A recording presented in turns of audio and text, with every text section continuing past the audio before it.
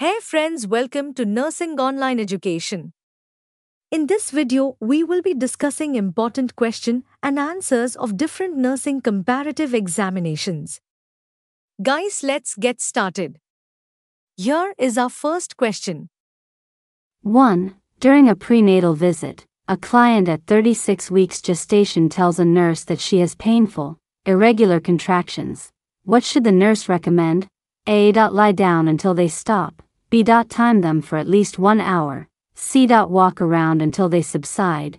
D. Take one over the counter analgesic.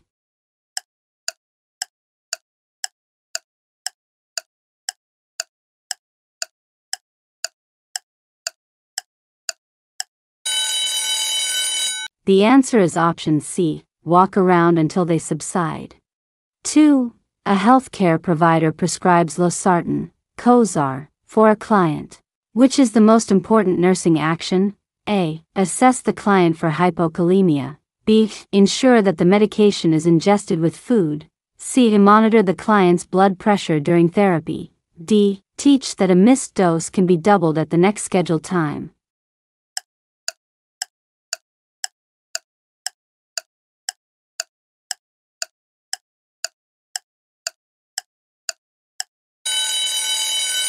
The answer is option C monitor the client's blood pressure during therapy. 3. During the postpartum period, a nurse identifies that a client's rubella titer is negative. What action should the nurse plan to take? Check for allergies to penicillin. B. Alert the staff in the newborn nursery. C. Assure the client that she has active immunity. D. Obtain a prescription for an immunization before discharge.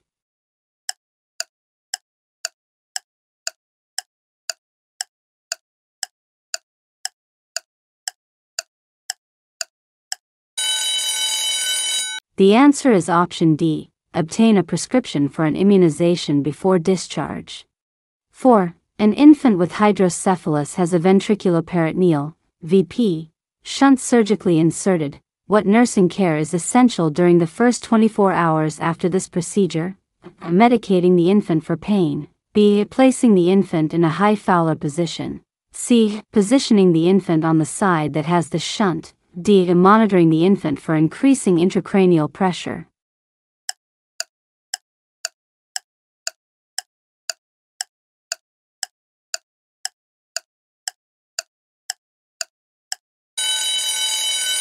The answer is option D, monitoring the infant for increasing intracranial pressure.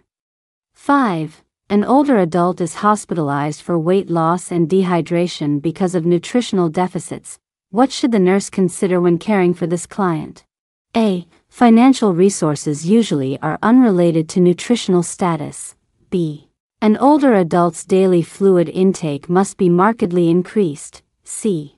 The client's diet should be high in carbohydrates and low in proteins. D. The nutritional needs of an older adult are unchanged except for a decreased need for calories.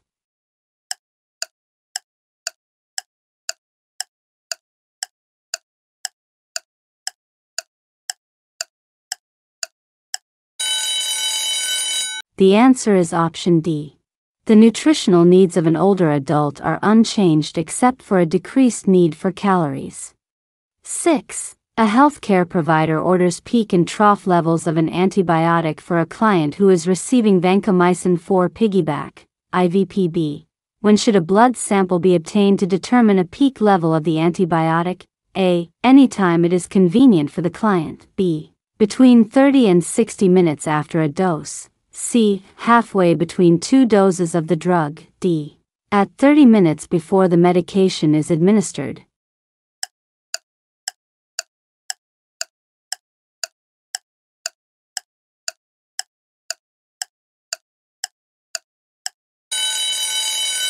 The answer is option B.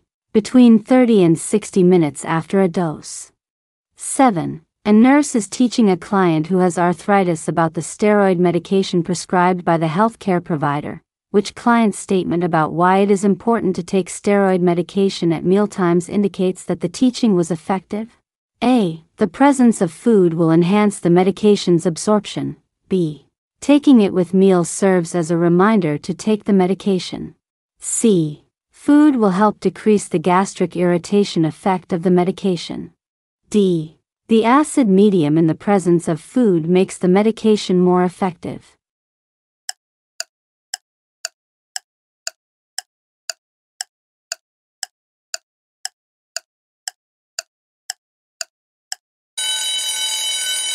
The answer is option C. Food will help decrease the gastric irritation effect of the medication. 8. What is the priority nursing intervention on admission of a prima gravida in labor?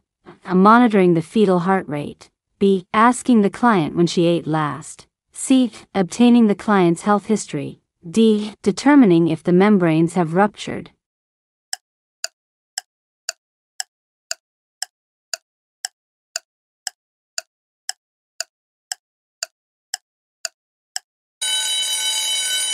The answer is option A monitoring the fetal heart rate. 9. An external monitor is placed on the abdomen of a client admitted in active labor. The nurse identifies that during each contraction, the fetal heart rate decelerates as the contraction peaks. What should the nurse do next? A. Help the client to a knee chest position to avoid cord compression. B. Notify the healthcare provider because of possible head compression. C. Monitor the fetal heart rate until it returns to baseline when the contraction ends. D. Place the client in a semi-Fowler position to prevent compression of the vena cava.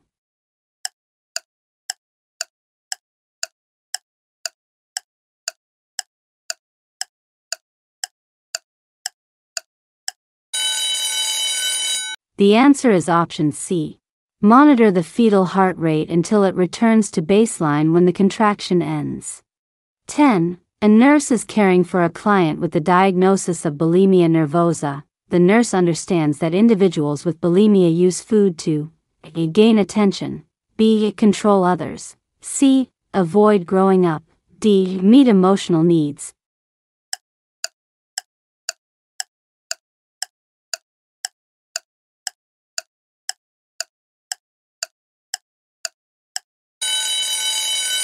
The answer is option D, meet emotional needs.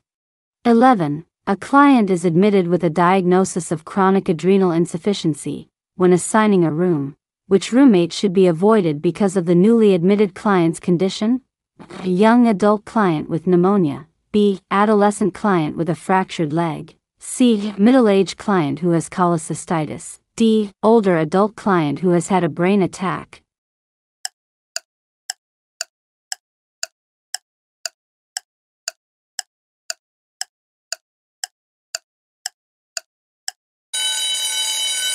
The answer is option Young adult client with pneumonia. 12. While on a hike, a rusty nail pierces the sole of an adolescent's foot and the adolescent is brought to the emergency department of a local hospital.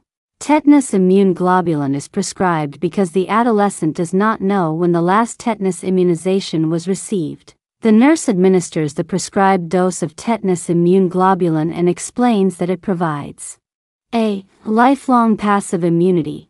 B. Long lasting active protection. C. Immediate passive short term immunity. D. Stimulation for the production of antibodies.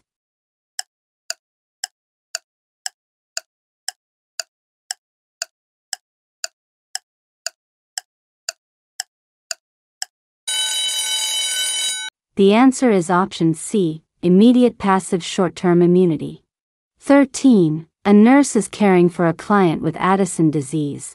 What should the nurse teach the client to do regarding an appropriate diet? A. Add extra salt to food. B. Limit intake to 1200 calories. C. Omit protein foods at each meal. D. Restrict the daily intake of fluids to 1 liter.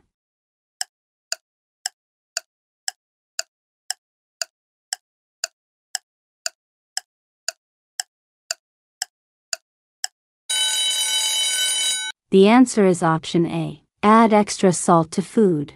14. What response should a nurse be particularly alert for when assessing a client for side effects of long term cortisone therapy?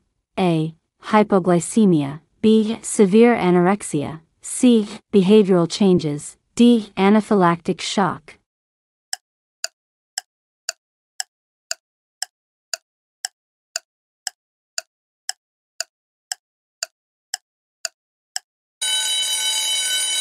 The answer is option C, behavioral changes. 15. A nurse observes that an infant has head control and can roll over but can neither sit up without support nor transfer an object from one hand to the other. What developmental age should the nurse estimate based on these observations? A. 1 to 2 months, B. 3 to 4 months, C. 5 to 6 months, D. 8 to 9 months.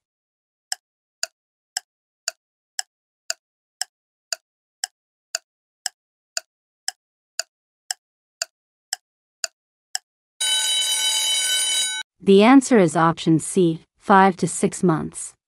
16. A healthcare provider prescribes milrinone, Primacor, for a client with a diagnosis of congestive heart failure who is unresponsive to conventional drug therapy. What is most important for the nurse to do first? A. Administer the loading dose over 10 minutes. B. Monitor the ECG continuously for dysrhythmias during infusion. C. Assess the heart rate and blood pressure continuously during infusion. D. Have the order, dosage calculations, and pump settings checked by a second nurse.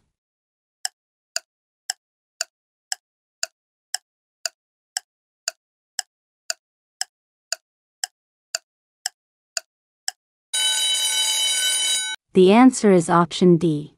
Have the order, dosage calculations, and pump settings checked by a second nurse.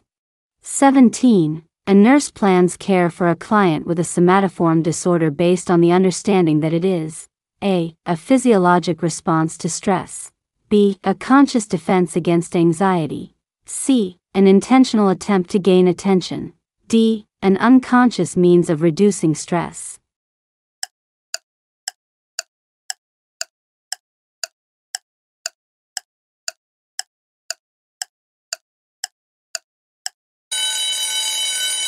The answer is option D.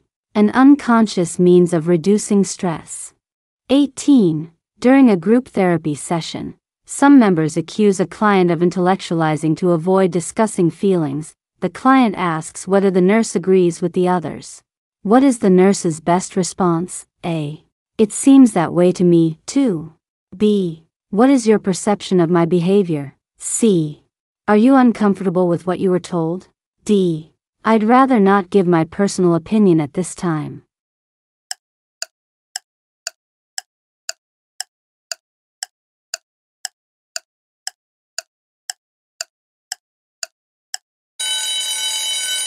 The answer is option C. Are you uncomfortable with what you were told?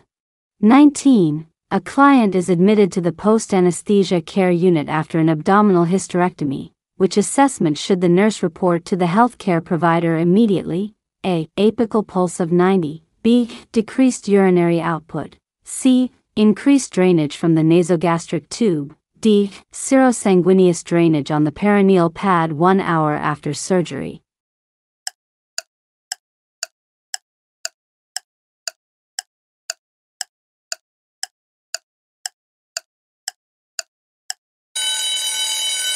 The answer is option B. Decreased urinary output. 20. A client rescued from a burning building has partial and full thickness burns over 40% of the body, which is the initial physiologic change that the nurse can expect. A. An increase in blood volume. B. An increase in serum potassium. C. A decrease in capillary permeability. D. A decrease in urinary specific gravity.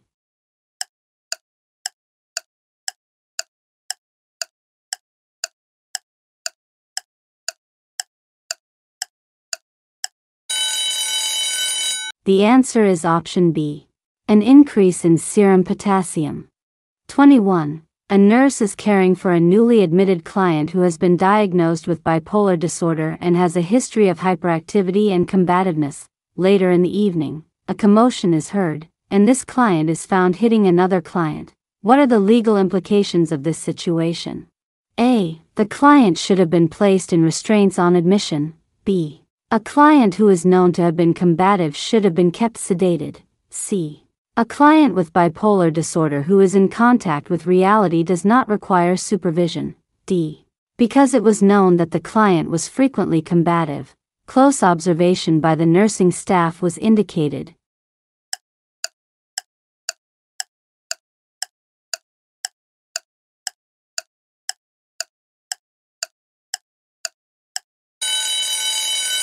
The answer is option D. Because it was known that the client was frequently combative, close observation by the nursing staff was indicated. 22. While the nurse is talking to a hypermanic client, the client's conversation becomes vulgar. How should the nurse respond to the client's behavior? A. Tactfully teasing the client about the use of such vulgarity. B. Restricting the client's contact with staff members until the behavior stops. C. Asking the client to limit the use of vulgarity while continuing the conversation. D. Discreetly refusing to talk to the client when the client is speaking in this manner.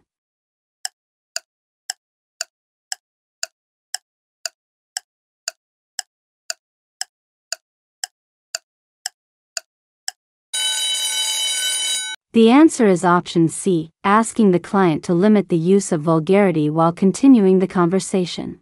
23. A nurse is teaching a 10 year old child with type 1 diabetes about insulin requirements. When should the nurse explain that insulin needs will decrease, that puberty is reached, B. Infection is present, C. Emotional stress occurs, D. Active exercise is performed.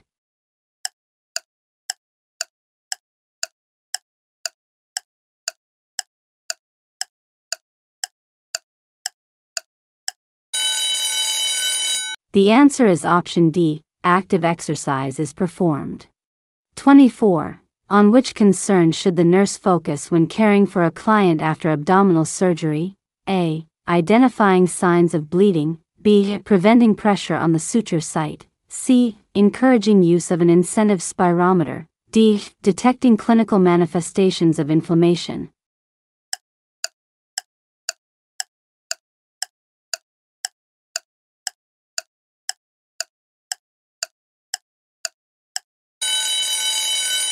The answer is option A identifying signs of bleeding.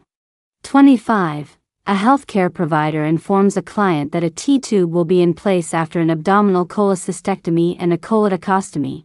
What should the nurse include in the preoperative teaching for this client regarding the primary reason why a T tube is necessary? Drains bile from the cystic duct. B. Keeps the common bile duct patent. C. Prevents abscess formation at the surgical site. D.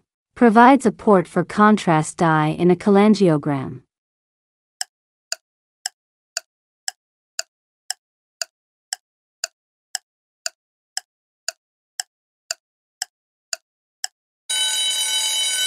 The answer is option B, keeps the common bile duct patent.